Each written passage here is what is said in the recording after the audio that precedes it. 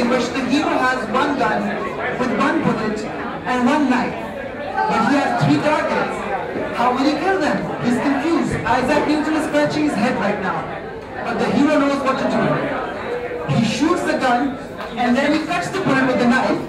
So there's, two ways and all three are dead. that's how they do movies. We're going to go ahead with the dance now. I would ask you all to please see it clearly because after this we're going to be having a dance workshop. So please try to memorize the steps as much as you can.